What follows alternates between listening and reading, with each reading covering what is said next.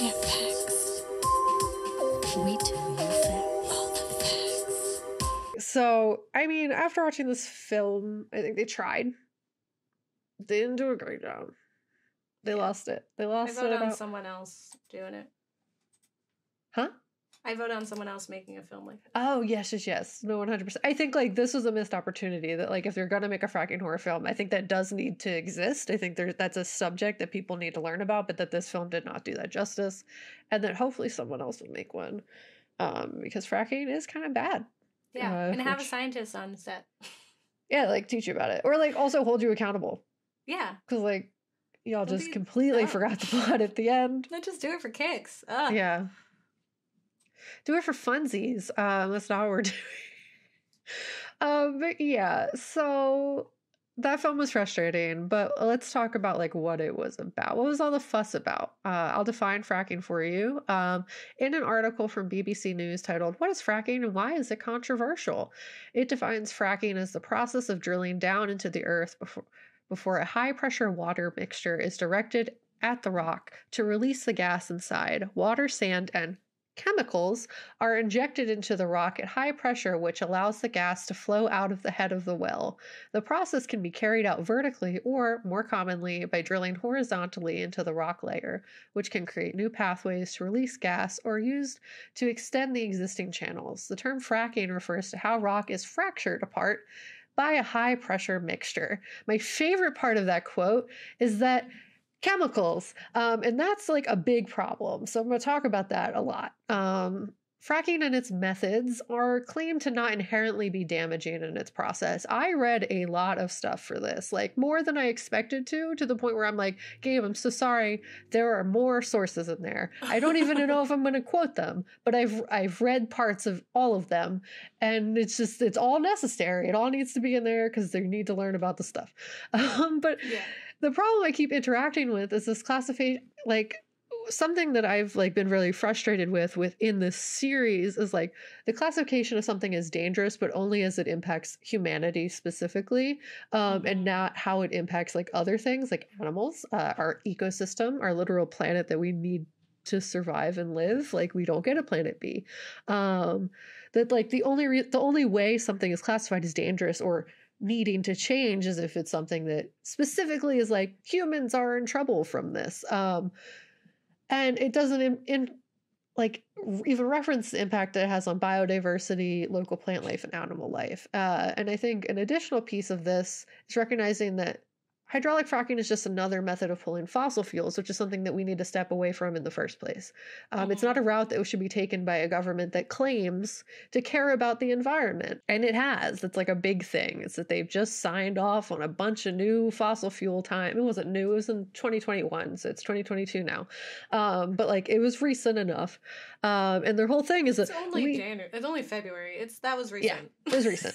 Uh, and they were like, we need to take care of the planet. Haha. Like for funsies, like not for real though. Um, kind of like this film. Um, Yeah. and essentially like the whole thing is that they are inherently like doubling down on the fact that we need to be using fossil fuels when we already know that fossil fuels are damaging for the environment something that we already have the science behind it's already there um so the arguments for fracking with that in mind is essentially a moot point. The fracking immediately can be seen as negatively impactful because it is extracting fossil fuels that are a non-sustainable energy resource that we shouldn't even be pursuing anymore and instead should shift to clean energy that will reduce our carbon footprint so we don't die in seven years. Um, but let's impact the uh, environmental impact a little bit more. Um, well, human water systems are like unlikely to be affected by each fracking situation. Um, water and animal and plant life are. Um, a very frustrating piece of the data collection for fracking is the tracking of the impact, uh, specifically because of non disclosure agreements. There is so much that we don't have access to because of these agreements that states have made with these companies to say that they don't need to tell us what's in the process of fracking. What's they don't need the to tell us what's in the chemicals that are put into the ground to break the rocks apart. Um, and that's been something that's really been inherently frustrating and damaging to the research to figure out if it's actually damaging to the planet Mhm. because we don't have the information necessary to conduct the necessary science. Um, we have a lot of things that imply that it does, uh, but because we don't know exactly what chemicals are in the fracking fluid, the companies have made it impossible to track the impact. Uh, and it feels very intentional if you look at anything critically ever. Um, but there are studies concluded by Cornell that suggest that the interaction between wildlife and fracking chemicals resulted in many animal deaths. The article titled Studies Suggest Hydrofracking is Killing Farm Animals' Pets by Krishna Ramanujan outlines exactly how many animals were impacted in their specific study. This study is also referenced in another article that I read on One Green Planet. Um, the new report has found dozens of cases of illness, death, and reproductive issues in cows, horses, goats, llamas, chickens, dogs, cats, fish, and other wildlife, uh, and humans. According to the study, in New Solutions, a journal of environmental and occupational health policy, making a direct link between the death and illness is not possible due to incomplete testing, proprietary secrecy from gas drilling companies regarding the chemicals used in hydraulic fracking, and non disclosure agreements that seal testimony and evidence when lawsuits are settled. Uh, the data, because of this, makes it nearly impossible to explicitly state that fracking was the cause of the animal deaths, but the implication is pretty clear in there. Uh, the study goes on to reference in Louisiana, 17 cows died within an hour of direct exposure to hydraulic fracking fluid. A necropsy report listed respiratory failure and circulatory collapse as the most likely cause of death. In another instance, a farmer that separated his herd of cows into two groups, 60 were in a pasture with a creek where hydraulic hydrofracking wastewater was allegedly dumped. 36 were in separate fields without creek access. Of the 60 cows exposed to the creek water, 21 died, 16 failed to produce calves the following spring, and none of the 36 cows separated fields had in the other field that didn't have access to the hydrofracking water had any health problems though one cow failed to breed in the spring.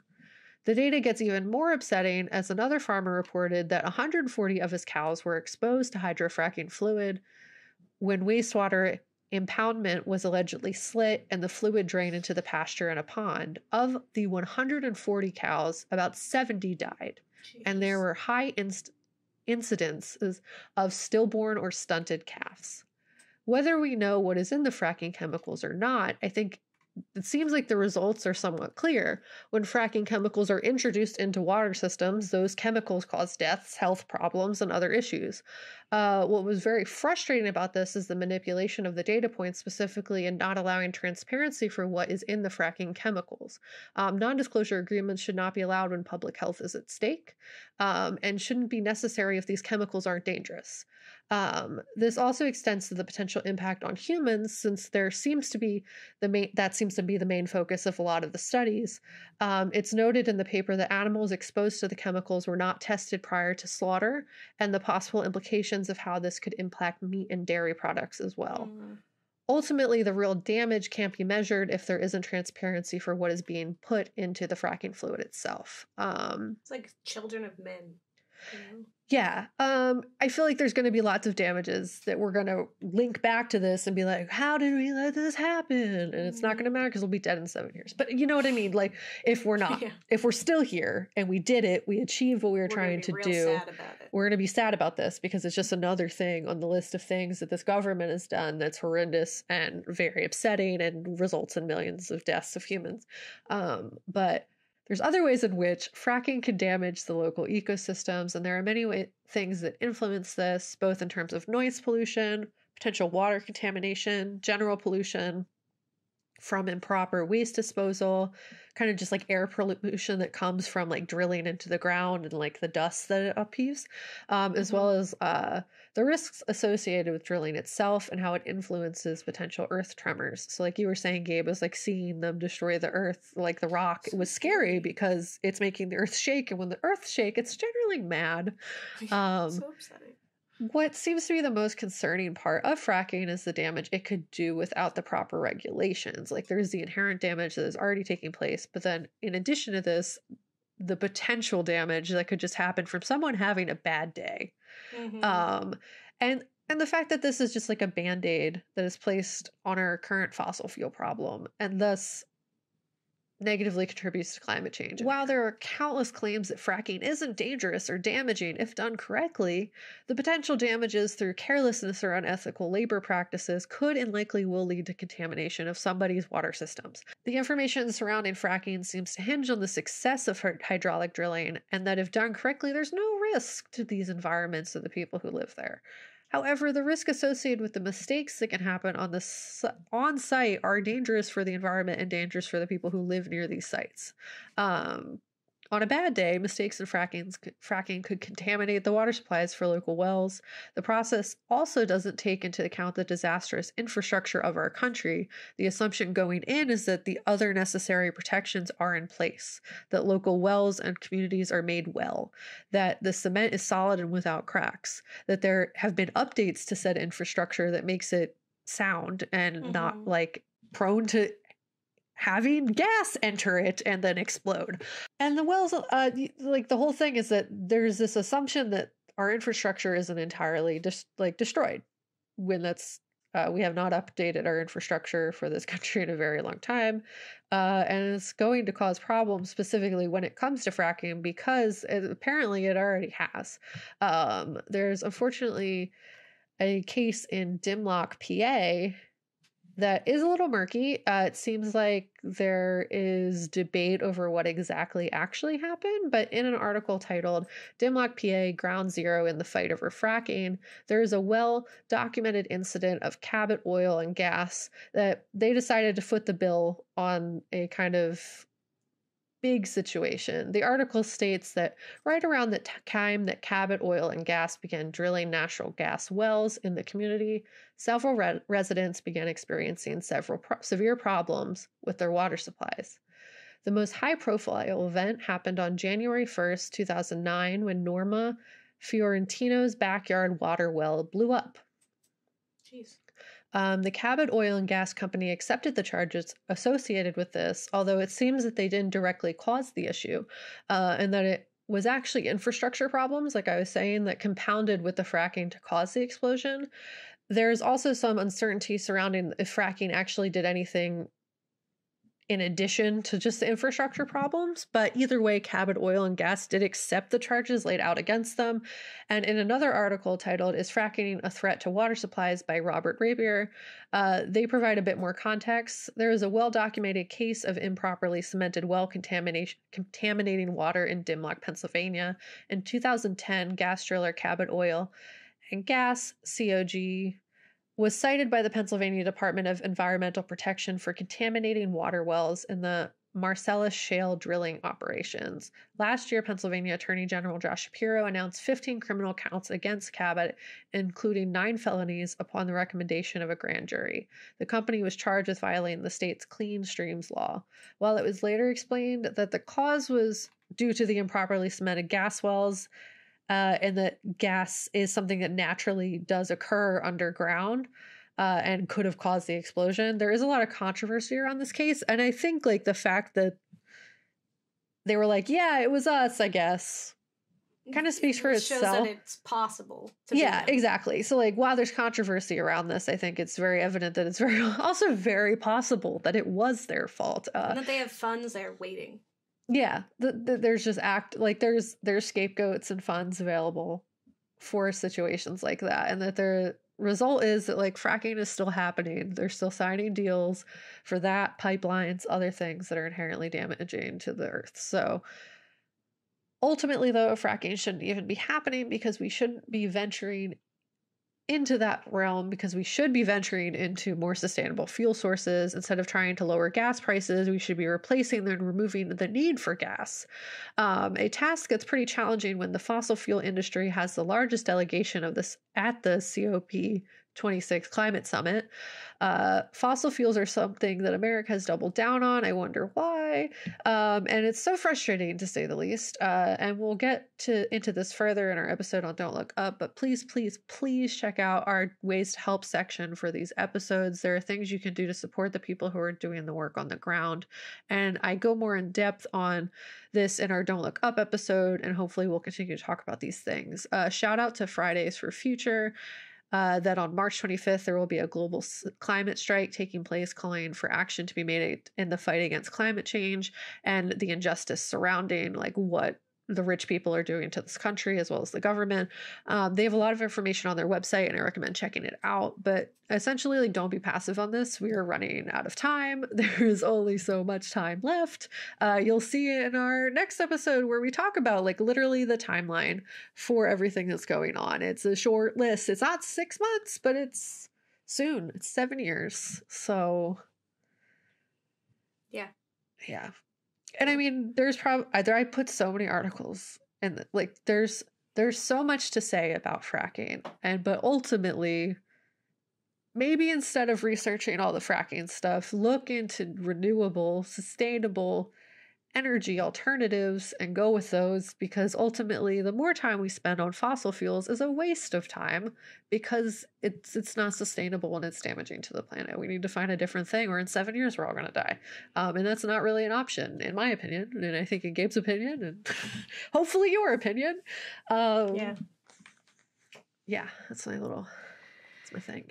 Yeah, and I think like similar to uh like the complaints about like what it does to the environment, which is like it like we kind of went into it in Spore too, is like how people just aren't acknowledging that other living things on this planet matter as much as us and that it Yeah. is it's still a matter of danger. It's still a matter of of concern when those things are at risk because we rely like we're we cannot sustain ourselves without the natural world and so we need to take better care of it and sadly people just kind of separate themselves from it and that's why i think like when you're seeing like the protests that happen like for the no DAPL right for, for the indigenous people speaking out against the pipelines because it was similar to this where it's like oh you know if it works it won't hurt anyone. But we've seen what happens when there's an oil spill we're still Yeah. cleaning those up. We've seen what happens when there's a nuclear spill.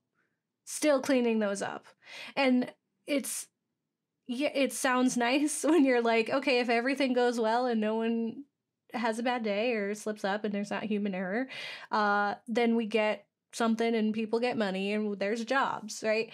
Um but it's ignoring the fact that that one day can severely impact the natural world around it and ruin everyone's future in that Yeah. area and yeah the same with like uh, uh rigging in like the ocean and stuff those are Yeah. really scary because one then, like, bad day even on a good day, it's still hurting the animals. It's still hurting the plants. It's still hurting the water supplies. It's just not the water supplies we drink from. It's the water supplies literally every other creature on this planet has access to. And we're just like, all right, it's fine for them.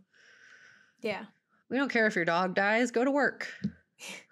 You know, I don't know. It's Yeah. just, Yeah, and I think that's what we're really finding in this section is just like that people really need to care about the environment as if it were a person.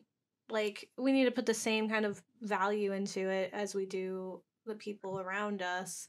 Um, and if that's like, you know, envisioning the earth as the Lorax or the hidden people or whatever you want to kind of put a face to it, let it Yeah. be that. But like, then do some action about it. Like, do something.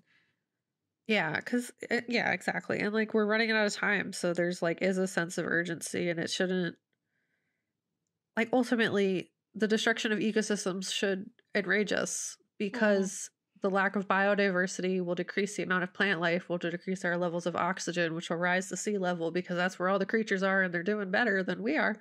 Um, and then we're killing them too. So it's like a whole other thing. Uh, we reference the Bay episode, dead zones, and other fun. Yeah.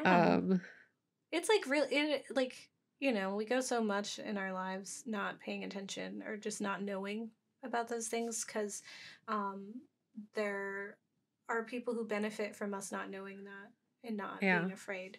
Um, and so hopefully you're listening to this and you're outraged about fracking, you're outraged about oil, about all the different natural um, resources that are unnatural, right? And the fact that like those are we only get what we get. And then that's Yeah. it. Then what? then what? Then what? Um, nothing. There's nothing. Exactly. And it shouldn't be what like green dreams or whatever. It's actually future to make it better. Um Yeah. yeah.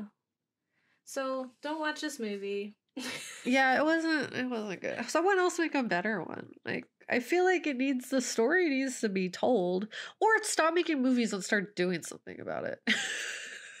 I feel like movies are really important as a way to motivate. But like also like there's millions of dollars that go towards the movies. Maybe make the world less gross with that money too. yeah. Or use the money like- that you made from the movie to make the world less gross. I don't know. hmm And it was so goofy though too that I feel like it like at the end it was like kind of messy and goofy that I don't even think it did a good job of making people feel educated enough or sad enough Yeah. to do anything about it. Um and you definitely can't. Like we've talked about some really great eco horror films that do a great job of making us feel bad about the environment and also being afraid. right? Uh, yeah.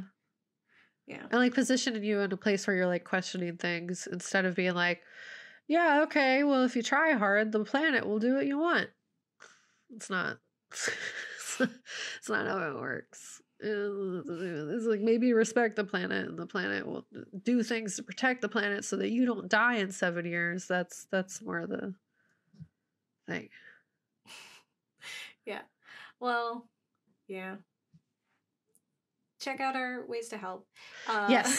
section to learn. lots of stuff um, other people were saying stuff as well to see if you agree with those films are saying. Um, and if you have any information, if you're doing work um, out there, if you have any books, if you have like eco horror books, love them. Um, if you have just regular like science uh, information about like what's happening, we love to learn. So be sure to shoot us an email at theghoulsnextdoor at gmail.com or just check out our website, theghoulsnextdoor.com. tweet at us you know there's lots of options available Yeah. for communicating or maybe we'll reach out to you if we find you there's Yeah. some people i saw i was like that'd be dope if we got them on the show so there's also that but Yeah. if you're there and you're already watching us and you're like hey i didn't even know that was an option i can send you articles please Yeah, we'd love Do that. it. We'd read them. Um, yeah, send it. Uh, so interact with us on social media because we we really do like to to learn. Like that's the whole reason why like a part of me picked eco horror was because I was like I know there's so much that we could be doing Yeah. and learning and seeing, um, and then we can share it with you. And if there's things that um you want to see coming up, if there's certain topics that you feel like would really benefit our show or or a, film or TV show that you're like you guys would tear that apart or like highlight Yeah. some really cool things send it our way as well we love that um but yeah What we're almost to the end of this eco horror yeah time we want to be Um, sad but empowered yeah that's our whole thing. That's our whole thing guys. Edutainment. So don't get married. They'll eat your kids. Or your kids will melt yeah or your kids just crumble in your hands. You're Like, it just- "Why?" i was so weird. It was such a yeah what it was a a, weird choice. it, the- what a decision. It- yeah, it was a whole weird decision. There were so many decisions where you're like, Sex this could have been good, but it wasn't. Remember when she ro- she was ri- driving away to like escape, yeah, and there was like a road in front of her. Instead of going in the road, she was like, "I'm gonna go into the cornfield where I can't see." yeah, you know, And and I then I'm gonna stay in that cornfield forever. left the road to do that, and I Yeah. was like, "What are we doing?" I get stressed, but like, corn? that's but it was the road. I I can't. I Like, get, I know exactly what you're saying. Uh, I'm Oh, equally I just- frustrated. So many things happen in that film where it's like, why are you doing that? yeah, but I mean, ultimately, I feel like we would have researched to learn about this anyway. Yeah. But I guess the film allowed us to talk about so- it. So Yeah, so thank you. thank, thank you. Uh, uh, you're welcome. Film for Yeah. doing the work for you. Yeah. we did the research. We did the things that you should have been doing, and now people have that information. You're welcome. Yay! Tag team effort. High five. All right. Bye. Bye.